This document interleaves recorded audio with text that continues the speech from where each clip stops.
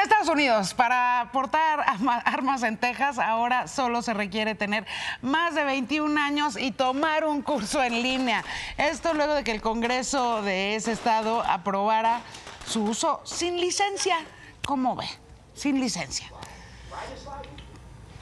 ¿Qué cosas vemos en el mundo, mi querido Pablo Carrillo? Mejor vamos a tu cancha, los deportes. En Italia, allá detienen a tres personas por la caída de un teleférico. De acuerdo con las autoridades, sabían que el freno de emergencia estaba desactivado. Bueno, pues están acusados de homicidio múltiple, doloso y desastre por negligencia. Esta es la última y nos vamos. Un momento histórico, chéquelo.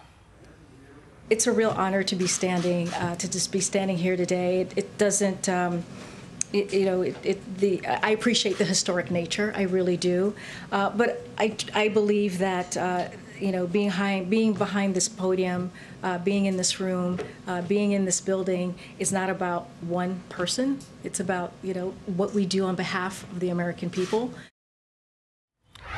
Ella es Karine Jean-Pierre, la primera mujer afroamericana en tres décadas en encabezar la conferencia de la Casa Blanca. Es subsecretaria de prensa del gobierno de Joe Biden.